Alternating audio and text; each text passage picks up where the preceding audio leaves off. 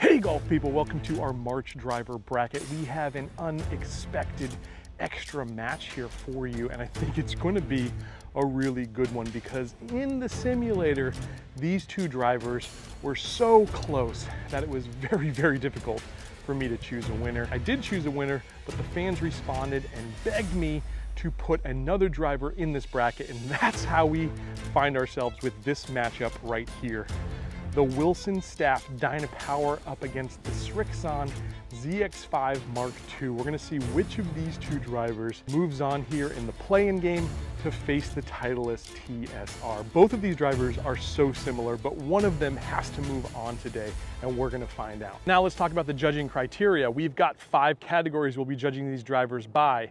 The first one is distance, which one flies the furthest. That's five points. The second category is accuracy and forgiveness. That is five points as well. Third category here is value. That one's worth three points. And then we've got workability, one point, as well as aesthetics, one point. That's how we'll judge these two today. One driver is gonna move on to our quarterfinals. Let's find out which. All right, first driver up is the Wilson Dynapower. Carbon, these balls are unmarked. Boy, that launched high. That was really good. Now this is into the wind. It drew back right side of the fairway. Club head speed 101, ball speed 147, smash 1.46, estimated carry 237, estimated carry and roll 263. That is right down Broadway. With a nice slight draw. Club head speed 101, ball speed 147, smash 1.46. I feel like I've having deja vu. Estimated carry 235, estimated carry and roll 262. Switching now to the Srixon Mark V, same exact shaft by the way, exact same shaft. I would say that was just a little low on the club face, guys. Very forgiving result. Club head speed 102, ball speed 138, smash 135. That's where I know I didn't quite hit it in the middle. Estimated carry 213, estimated carry and roll 237. And that one's in the middle. That one was hit really well. I feel like it just unloaded. Club head speed 101, ball speed 148, smash 146, estimated carry 239, estimated carry and roll 265. We have a team of balls here. One, two, three, and then one over here on the right hand side. Remarkable in terms of how close all these balls are. It's like a team. 258, that is going to be, that's going to be the Wilson Dynapower. Now 257. I mean, it is one foot and a half from being in the fairway. So these other three are in the fairway over here. Two are dead middle one right next to each other. Here we go. We've got the Srixon ZX5 here. That's 256. That was the low-faced hit, which that really worked out well. Just up above here is our other Wilson at 259. Dead middle. Could be the best ball, but there is another ball up here. Left center fairway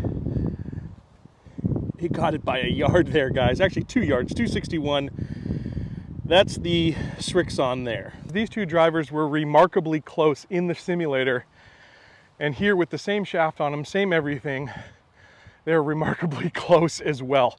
I've got to give this hole here to the Srixon just by a hair, and that's because that forgiving result we had with the low shot there. Two of those Wilsons were right in the middle. One of the Srixons were, one was low on the face. Still, it worked out really well. Let's go to test number two. Now, guys, the wind is blowing pretty good, and that was dead into me. We've got another hole here where the wind's gonna be dead into us, but we will, of course, switch it around. But honestly, in terms of trajectory there with the same shaft, both clubs looked exactly the same in the air. In fact, they felt the same. They looked very similar down at dress. These two clubs are almost a mirror image of each other. It's pretty crazy. All right, guys, test two. This time the ZX5 Mark II is up first. Good looking ball. It's leaking a little left. It may finish off the fairway. Club head speed 101, ball speed 143, smash 142, estimated carry 227, estimated carry and roll 252. Gotta say, I like the way both of these drivers are getting up in the air. The trajectory is really great with this shaft into the wind. It's hurting us distance-wise, but it's gonna help us when we turn it around. Shot two. That one off the toe, and again, big sweeping draw. It may finish off the fairway. Pretty forgiving result though for a toe hit. Clubhead speed 99, ball speed 141, smash 142, estimated carry 220, estimated carry and roll 245. Switch into the Wilson. Oh, that felt really great, guys. That was awesome. I might have carried it right into the bunker, but boy, it felt so good coming off the club. Club head speed 99, ball speed 144, smash 145, estimated carry 228, estimated carry and roll 253. It's right where I aimed, honestly. I just kind of expected slightly more draw, but that ended right where I had aimed. I changed my aim just a tad a little more central on this shot. And that's another good one. Just a little bit off the toe, not as severe as the Srixon one. Result, again, very forgiving. Club head speed 99, ball speed 145, smash 1.46, estimated carry 230, estimated carry and roll 256. Let's get them. Now guys, when I was a kid, baseball was my favorite sport and there was nothing like hitting one dead center and just feeling like the bat was an extension of your arms. And that's what those Wilson Dynapower shots felt like, especially that first one I hit dead center. Honestly, I don't care if it's in the bunker or not because that bunker's just in a tough spot. And good news, it's actually not in the bunker. In fact, it's holding on for dear life here. And it's actually a really good lie. I would play that one and feel real good about it. This is my Garmin G80. People always ask, what am I using here? This helps me measure the shots out on course as well as the shot data. 237. We know that's the Wilson. Other Wilsons up here, middle of the fairway. The two Srixons are over here. One's right across from us and one's a little further up. They're actually both in the fairway, those Srixons. Kind of surprising as well, I thought. And if you remember my battle with the Mizuno versus the Ping G430, the reason the Ping G430 came out on top really was the toe hits on the Mizuno were just a little too penalizing and I was missing too many fairways, getting it too spinny. All right, here we are, 229 there. That's a Srixon. Here's what we're looking at, a little flip wedge, but these are even better. These two are amazing. This is gonna be our other Srixon up here on the left, still caught the fairway, even though both of these were kind of towards the toe. 251. Remember, we're dead into the wind, guys. Dead into the wind over here directly across from it, this was my Wilson that was off the toe. It stayed a little bit more central.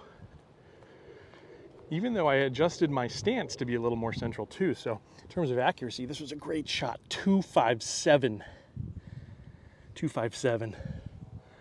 Oh, I would love to have that shot in. Guys, in my mind, this is a toss-up so far. I'm gonna give the Wilson staff this hole. Srixon had last hole. Let's go to number three. All right, guys, before we move on to the next test here, we're gonna judge one of the categories, and that's value. Both of these drivers are $499, specifically referring to the Dynapower. I've heard other YouTubers claim this is the best value in golf. Well, I would say this is definitely a decent value, but it's not great. All right, last year we had drivers we get in the 350 range brand new. So this year's crop of drivers across the board more expensive. On top of it, both of these drivers really don't have a whole lot of shaft options. These clubs don't have a ton of adjustability to them. So even though they're only at 499, just under 500, and that sounds like a good value, it's it's a decent value, okay? It's a decent value. It's not great, it's decent. Since there's absolutely no clear winner here, these drivers get three points for value. While I'm on a roll here, guys, and the wind has kind of died down, I'm gonna go ahead and judge another category here, and that's aesthetics. We're talking looks, feel, sound. When it comes to looks, I would just slightly, ever so slightly give it to the ZX5 Mark II. It's a really good looking driver. Both of them looking down at address, nice and clean. I like that both of these drivers have more of a matte finish to them. Wilson has a bit of a more of a carbon fiber look to it. The Srixon has a little carbon fiber look, but it's mostly kind of matte black. I'm just barely ever so slightly gonna give looks category to the Srixon, though they're very, very similar. In terms of sound, again, I think two very good sounding drivers, very similar sounding drivers. And in terms of feel, like I said on this last hole, the Wilson staff, just feels like an extension of you when you really nut it in the middle. All right, so just barely feel would go to the Wilson staff, but the Srixon's a good feeling driver as well. All in all, both of these drivers are gonna go in to get one point, so the score here is tied at four all. Guys, these drivers are so similar that this competition may in fact come down to workability, and that is what we're going to test here. This category is worth one point. We're gonna see if I can hit a fade, which goes against my natural draw, and just see how much you're able to work the ball left and right with these clubs. I will measure the stats, but that's not what this is about, guys. This is really about left-right movement. First up here is the Wilson staff.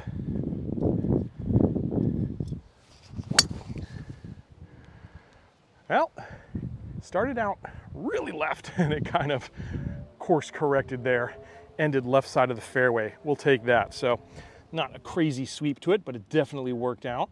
Clubhead speed 94, ball speed 133, smash 1.41, estimated carry 201, estimated carry and roll 223. Swing speed's gonna be down here with my fade swing for sure. Shot two. Now that had some good bend to it. In fact, it started right and it ended into the junk in the pond. So we won't find that ball. But clubhead speed 92, ball speed 134, smash 1.45, estimated carry 204, estimated carry and roll 227. Time now for the Srixon. I would say the amount of turn there was more similar to the Wilson staff's first shot. All right, this one, although I started a little more central, ended a little center, center right. Clubhead speed 93, ball speed 131, smash 1.41, estimated carry 197, estimated carry and roll 219.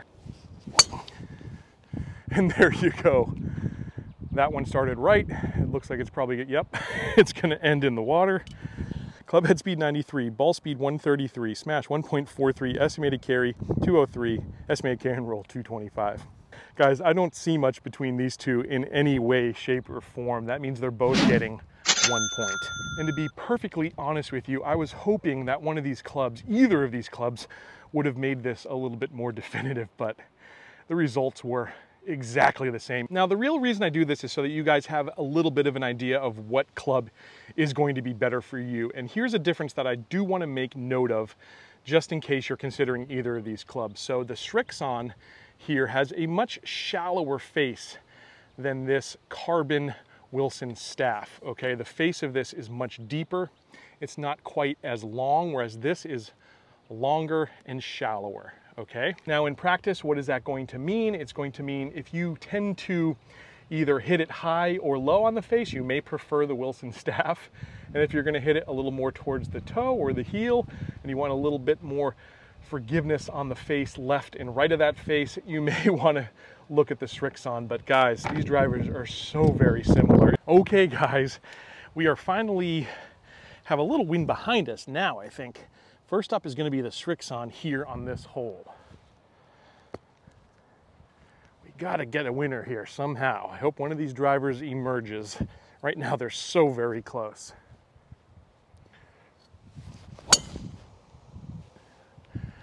That one off the toe, it started out a little right, but ended dead center.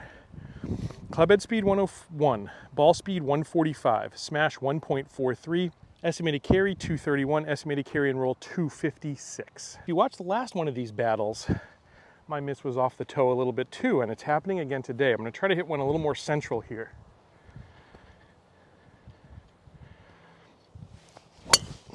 That's much better, with better trajectory to match. Now, that may actually miss the fairway right, but it was a good drive. Clubhead speed 99, ball speed 146, smash 147, Estimated carry 233, estimated carry and roll 259. We're switching to the Dynapower now.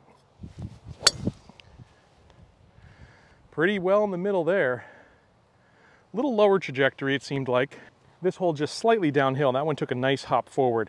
Clubhead speed 97, ball speed 142, smash 146, estimated carry 224, estimated carry and roll 249. Lower on the club face, maybe a little left of that first one. When I say low, I mean it wasn't super low, but it was a little low.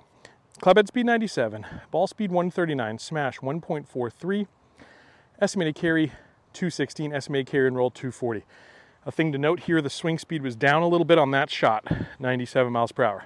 Let's go find him. Now the reason I mentioned things like low on the face, off the toe, lower trajectory, higher trajectory, any of that stuff, that's so you know exactly how I'm gauging what's what here. In order to be unbiased, I've got to take all of this data into account.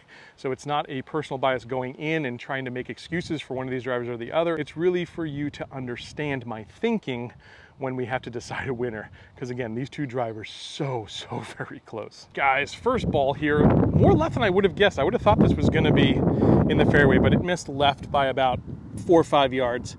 That's 233. That there is a Wilson Staff Dynapower. Our better shots are up here and two real nice ones up there. All right, this is the Srixon that felt really good coming off the club face. There's the dots on the ball there, guys. Two, seven, eight. We're just right of the fairway. Just off the fairway, about the same amount as the Wilson Dynapower, about four, maybe five yards. These two are the better balls. Now, one of these with the Wilson, I will say, seemed to be a little lower off the club face. With the Srixon, it was off the toe.